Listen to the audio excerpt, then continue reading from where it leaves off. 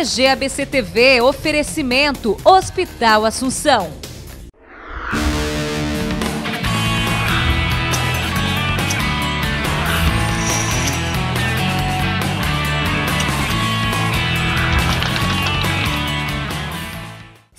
Volta com o DGABC Mix, com o Marcos Frota aqui do meu lado, para falar a segunda parte da entrevista. Agora eu quero saber o seguinte: estava comentando comigo que você nunca tinha pensado em ser ator, mas nasceu na casa do ator. Acho que é o destino já estava arriscado aí na sua vida. Pois é, eu sou de São Paulo, né? Nasci ali na Vila Olímpia, na rua Casa do Ator, número 77. E isso eu, eu carrego esse número 7 comigo, que é um número cabalístico.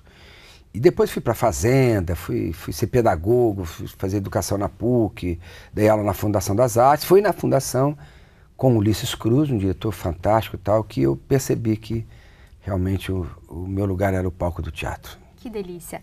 A gente falou do Marcos Frota ator. Agora eu quero saber do Marcos Frota pai. Marcos Frota família. Quatro filhos. Como que é gerenciar essa galera toda? Como que você se conecta com eles? Você usa das redes sociais? Como que você faz essa ligação? Eu sou pai e mãe, né? Porque eu fiquei viúvo muito cedo, com três filhos para criar, né? Uhum. E a...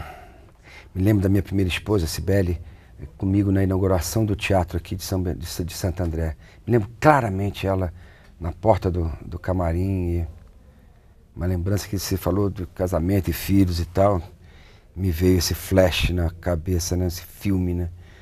E eu fiquei viúvo, meus filhos tinham, tinham dois anos, mais novo. Então eu tive a oportunidade de ser mãe dos meus filhos, né? E é aí que eu entendi realmente o que, que é a, a, a, a presença, né? Quer dizer, a importância que tem, né? O pai é... A mãe é próxima, íntima, né? confidente. Né? E foi essa relação que eu construí com, com, com os meus filhos, de intimidade completa. Né? É, hoje somos adultos, né? só o Davi que eu tenho com a Carolina Dickman, que é mais jovem, né? mas somos todos adultos. Né? E cada um com o seu caminho, cada um com a sua história, e eu é, me sentindo assim, de uma certa forma, é, amparado por eles agora. É gozado como a vida dá tantas voltas, chega num momento que é, o quanto eles são responsáveis por mim, pela minha, pelo meu bem-estar, enfim.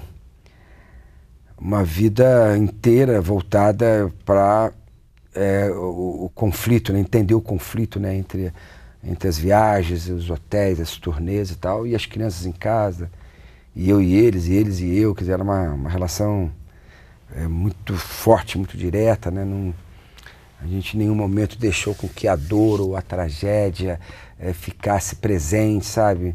É, ficasse marcada com a gente. Eu acho que a gente imediatamente compreendeu, né? E a partir daí é, impregnou a nossa vida de, de, de alegria, sabe? De, de realização de sonhos, de atingir metas e, isso tudo deu assim uma, uma, uma vivacidade muito grande, uma intensidade né, no nosso relacionamento. Sou muito feliz com eles todos e muito orgulhoso de, de cada um, entendeu? Do, do, talento, do caráter, da personalidade, da índole, né? E agora é... Esperar os netos? É bom, é uma consequência natural, né? Eles também têm suas metas aí agora mas assim, muito tranquilo. Eu sou, sou filho de uma família com muitos irmãos também, né? Então é muito bom ter gente em casa. Eu gosto de ter gente em casa. Quando você não está ocupado com circo, teatro, cinema, suas ONGs, seus, institutos, suas causas, o que, que, você gosta de fazer? Eu vou muito ao cinema. Uhum. Dedico muito tempo a, a espiritualidade, ao meu lado mais espiritual, né? De muito tempo. Muito tempo não dedico o tempo necessário, né? Aquilo que esse lado me pede, eu vou. E para relaxar, eu moro no Rio de Janeiro, né? E aí então vou à praia, né? Vou, gosto muito de, de, de, de, conhecer cachoeiras e lugares assim mais voltados para a natureza, mas sob, sempre sob o ponto de vista espiritual. Não é só a questão do lazer ou do, do, do, do, né, do entretenimento e tal. Buscar na natureza as respostas que você precisa para é, o cuidado e o, e o aprimoramento do seu lado espiritual. Essa é a minha maneira com que eu tenho de aproveitar o meu tempo livre. Você é devoto de Nossa Senhora e de São Francisco de Assis, é isso mesmo? Uhum. O Papa Francisco. O que, que você está achando da, desse Papa? Ah, ele é uma revelação, né? Ele é um querido, né? Ele é um... Ele é... Não só eu, mas acho que todas as religiões, todas as correntes religiosas veem na figura desse Papa um, um homem, um homem do diálogo, né? Da aproximação, né? Da, da do encontro, né? Ele é realmente uma luz, né? Hoje, tantos problemas da humanidade, né? E, e, e a inversão de valores, de princípios, e a questão material opressiva, né? Então vem um homem como ele, com o humor dele, com a alegria dele, com a simplicidade dele, né? Com é, o conhecimento, a informação, a cultura, né? É, um papa latino-americano, um homem ele é uma benção. Eu acho que ele foi uma luz. E foi um brasileiro, Dom Cláudio Rumes, que deu para ele a dica para ele é, adotar o nome de Francisco. Né? Quando ele se levantou para dizer o sim, ele falou: não se esqueça dos mais humildes. E foi ali então que ele falou: então meu nome vai ser Francisco. Perfeito. São Francisco de Assis é uma. É um. É um. É um fogo de artifício né, que passou pela, pelo planeta, né? E agora, recentemente, né? São Francisco de Assis é de 1200 e pouco, né? Então não é nada muito atrás e ele realmente deu, deixou um exemplo maravilhoso que Deus se manifesta na presença do outro, né? Então a gente tem que verdadeiramente é, se dedicar muito tempo, sabe, para a atenção e para a disponibilidade completa para o outro, né? Uhum. É o outro é que faz, a gente nasce e vive para participar e construir a felicidade alheia. 60 anos de vida, 40 de carreira. Olhando para trás, o que, que você faria novamente e o que você não faria novamente? Ah, eu errei muito, né? Eu caí em todas as ciladas da minha profissão, eu cometi grandes equívocos, né? A gente, é, se eu pudesse voltar atrás, eu faria tudo diferente. Nossa, mãe. Mas é, estar com 60 anos e, e perceber que está tudo começando agora também, entendeu? Uhum. É, cheio de esperança, com, com, o coração encharcado de amor pelo Brasil, pela minha profissão, sabe? E, e, e, e muito grato por tudo, sabe? É, é, uma delícia você chegar com 60 anos já desfrutando da maturidade, mas ao mesmo tempo com tantos sonhos para se realizar, com tantas metas a serem atingidas, né? Eu acho que a vida é amar e aprender, né? E, e você tem que estar tá atento para que não perca nenhuma oportunidade, nem de amar e nem de aprender. É isso que deixa a gente jovem, feliz e, e, e, e consciente de que a gente pode e deve contribuir para que é, o mundo seja um pouco melhor, né? Esse é minha meu desafio atual.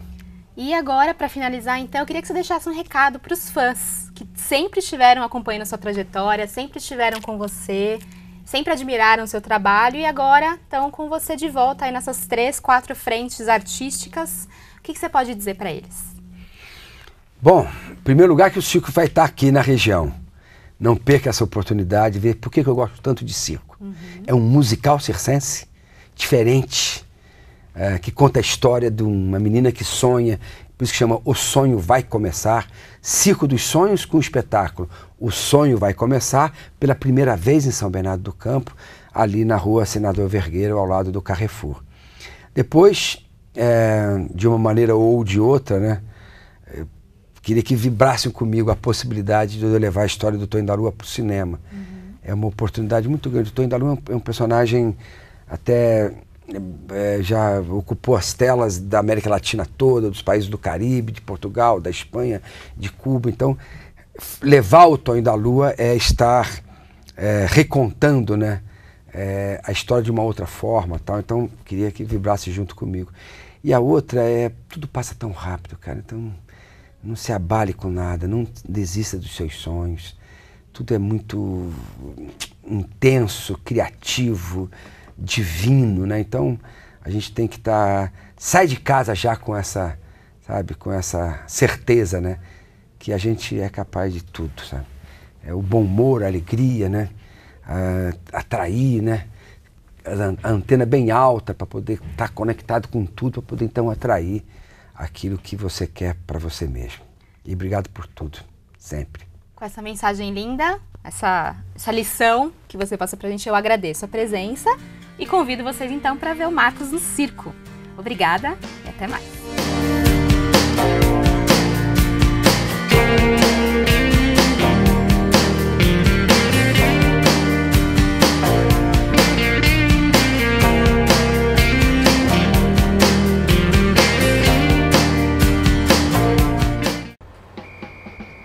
Pessoal, eu sou o Marcos Frota e quero convidar todos para o Circo dos Sonhos, temporada popular em São Bernardo do Campo. Você não pode perder Circo dos Sonhos na Avenida Senador Vergueiro.